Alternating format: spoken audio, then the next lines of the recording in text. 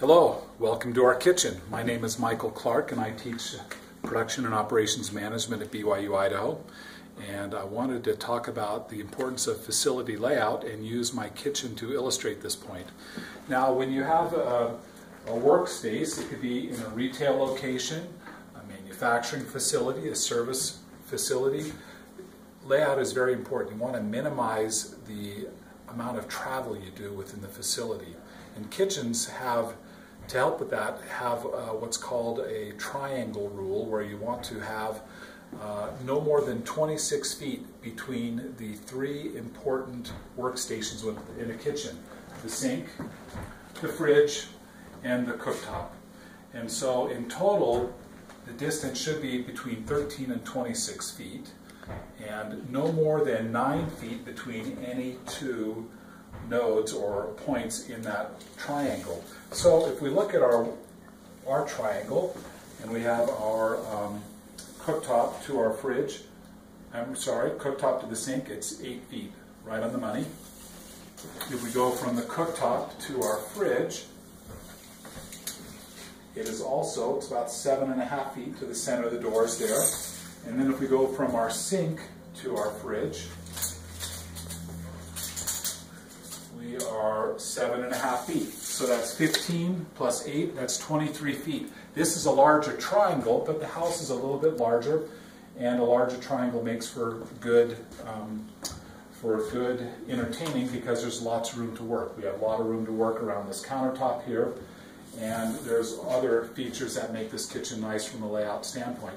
In the morning, if I get out my frozen muffin or I make my bowl of oatmeal in the microwave, I can get my frozen ingredients here, or go to the pantry, get my oatmeal, get a bowl, and then I can put everything into our under counter microwave oven with the automatic drawer. And then once I'm done with that, I have all the other things gathered here. I can just grab my oatmeal and I'm right here seated, ready to eat. So the convenience and uh, of that layout with the microwave right there is very important to us. It saves a lot of time walking from one point to another. Also, when we're done with the dishes, or rather when we eat, it's very either, easy to gather the dishes into the sink here. Again, we eat most of the time here at this counter. And then to load the dishes, you'll notice that our dishwasher is about a foot and a half off the ground. And when you get to be old like I am, your back gets a little stiff. And so now I don't have to bend down far to put dishes into the dishwasher. And that makes for great convenience and minimizing the motion because everything is so close. Also, once I'm done with the dishes or once the dishwasher is done washing, we have the dishes conveniently located right above and to the side for the glasses. And so it's very easy to unload the dishwasher. The silverware is a little further away, but the dishwasher has this removable silverware holder, and so the silverware goes here. So again, we're talking about things that make for convenience, minimizing space. You don't want to have people tripping over each other. And so that's another thing that's important here. Someone could be unloading the dishwasher while someone else is working scrubbing pots and pans that we maybe don't put in the dishwasher. Someone could also even get into the pantry while the dishwasher is open. It gets a little crowded if someone wants to go in the pantry and have the dishwasher open and the fridge, but you can get into all of these very nicely.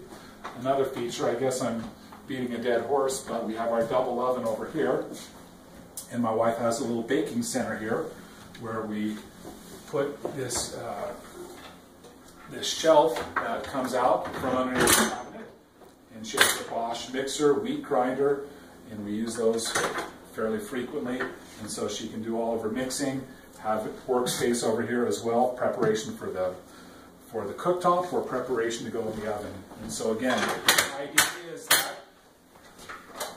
you want to, again, minimize the distance traveled between those work areas that have high frequency between them.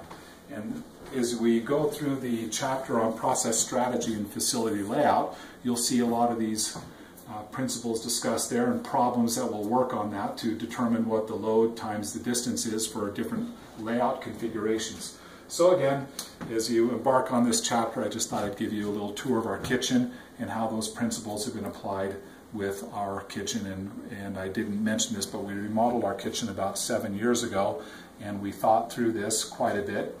And um, and I may even make available a drawing of what the kitchen was so you can see the before and after the efficiency gains and convenience, improved convenience with our current layout. So I hope you've enjoyed this little video and um, we have been happy to welcome you into our home. Thanks.